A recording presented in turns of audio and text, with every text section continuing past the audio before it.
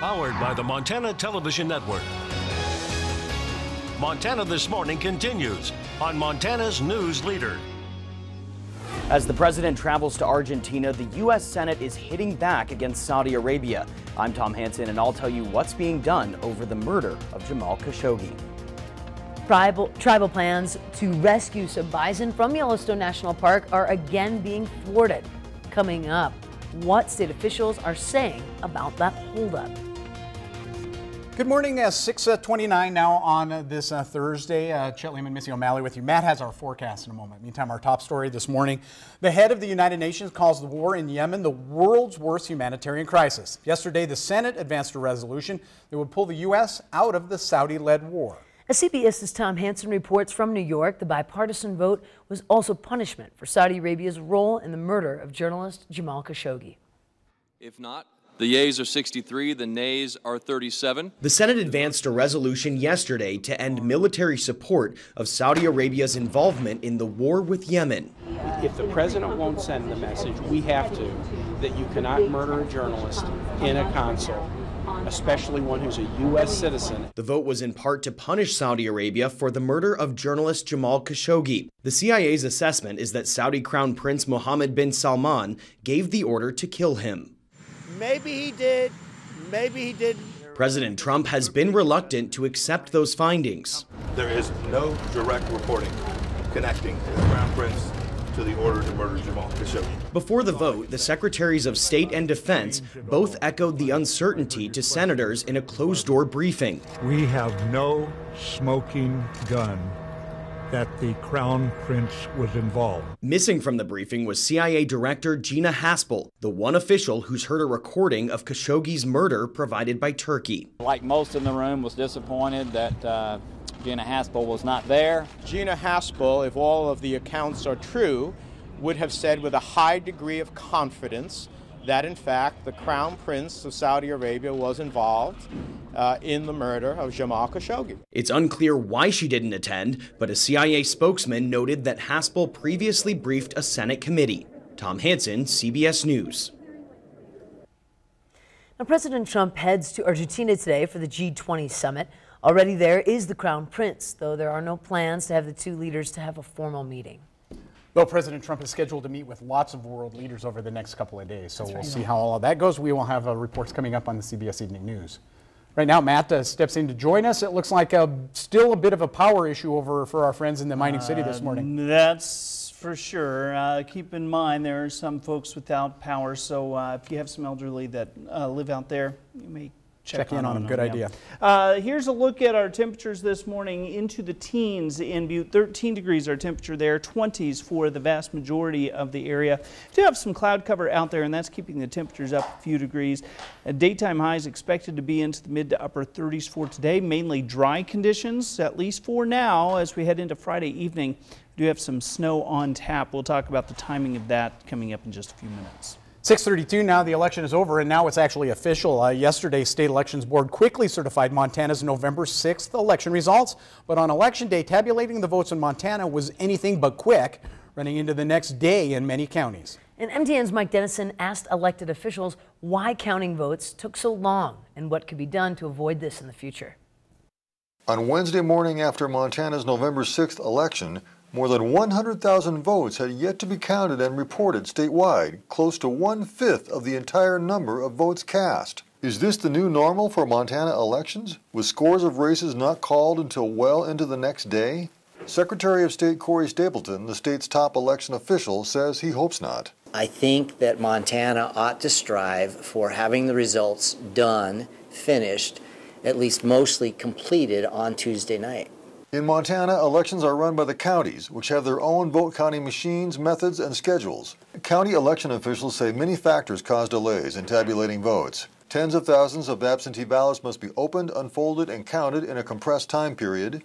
And in some counties, scores of people show up on election day to register and vote, or get new ballots, which means more work for election office staff. In Gallatin County, for instance, people were still registering and voting until 11 p.m. on election day.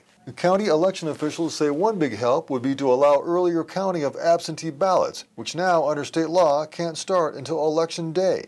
If we could start counting those absentee ballots before Election Day, we would be able to handle jams in the machines and we would be able to speed up the Election Day process and still not release those results like we're doing now. No early results. I think it would benefit everybody. Election clerks are proposing a bill at the next legislature to allow earlier opening and counting of absentee ballots, which now make up more than 70% of votes cast. Stapleton, however, says he's concerned about the security of any early vote counts. If Montanans knew on Monday before the election who was leading in a major election, I think that would compromise the entire election process. Local election officials say other states do early counting and security isn't a problem. They also say that given Montana's multiple ways of voting and vote counting and broad geography, it may no longer be realistic to expect results a few hours after polls close. Every election day when you come to work, you always hope you've got the general results done by 1 in the morning. Never happens, but it's always your hope. Reporting from Helena, Mike Dennison, MTN News. Montana had an extremely high midterm election turnout of 71%, with 509,000 votes cast. Uh, in other news this morning, Butte and Anaconda will have to wait a bit longer for the finalized consent decree detailing Superfund cleanup. The signed decree was expected to be released before the end of the year, but the Environmental Protection Agency needs more time to add recommendations and comments from several public meetings held in the two cities to the final report. Report details several cleanup projects from more than a century's worth of mining contamination in both Butte and Anaconda. Local Superfund officials say it will be worth the wait. Uh, it, it's really good news. It's, it's disappointing that things take longer than we expect, but uh, they're just going to be that much more complete and thorough, and uh, it'll, it'll expedite our review uh, of those documents. By the way, once released, the decree will be reviewed and the Butte Council of Commissioners will vote on whether to approve the final decree, which is expected to be released in early 2019. And Fort Peck tribal leaders say they don't expect to see Yellowstone bison sent to their reservation before the end of the year. MTN's John Shearer reports from Yellowstone National Park. For decades, Yellowstone has struggled with how to control its bison population. Some are killed by state and tribal hunters every winter as they try to leave the park in search of food. But hundreds others are captured and sent to slaughter. This has led tribal officials and even former Montana Governor Brian Schweitzer to attempt to relocate some of the animals to Fort Peck tribal lands. We're very frustrated. The Fort Peck tribes have spent over a million dollars on this effort, um, and that's their demonstrated commitment to preserving Yellowstone bison for the genetics. Yellowstone bison are some of the only bison in the world known to have pure genetic lineage to the historic bison that once roamed the North American plains by the millions. There is a stone wall um, to get live bison out of the park and two tribes. At a meeting of the Interagency Bison Management Plan partners, Mike Honeycutt, the chief executive of the Montana Department of Livestock, said the state is eager to set up a pipeline to move bison from the park to the tribes. But it wants to make sure all federal requirements are met. Tribal officials claim those requirements keep changing. We've heard from some local sources that those animals have been in quarantine long enough that they can be certified disease-free by the state of Montana and allowed to enter the state legally. But we're hearing from Washington, D.C. that um, they need additional testing. And they're really handling this out of Washington, D.C. Ryan Clark with the Federal Animal and Plant Health Inspection Service says there is little communication he gets from his superiors in Washington where the final decisions on moving the animals will be made. The actual maintenance of those animals in a separate pasture, completely away from the rest of the herd, would be costly. State and federal officials say the concern is that the bison could transmit brucellosis to cattle. That causes fetuses to abort. APHIS says that in Wyoming and North Dakota, bison have been known to transmit the disease to cattle. But in the greater Yellowstone area, only elk have been known to share that disease with cattle herds. In Yellowstone National Park, I'm John Shearer for MTN News. Now, both the APHIS and National Park facilities built to hold the bison quarantine are filled to capacity. That means if bison wander out of the park and search for food this winter, they will have to be sent to slaughter since there's nowhere to house them.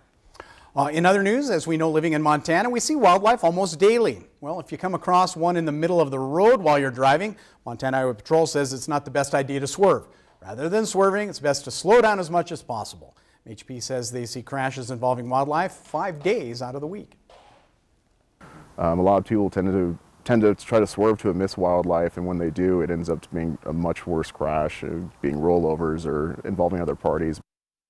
Now, if you happen to uh, hit any wildlife, stay in your vehicle, call the Montana Highway Patrol or your local law enforcement. So just be on the lookout. Some good Head on a swivel, for sure.